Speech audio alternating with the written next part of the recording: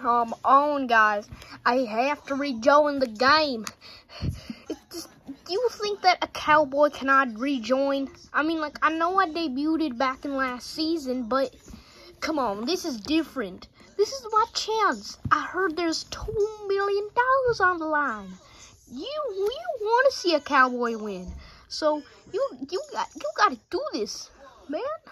Just come on.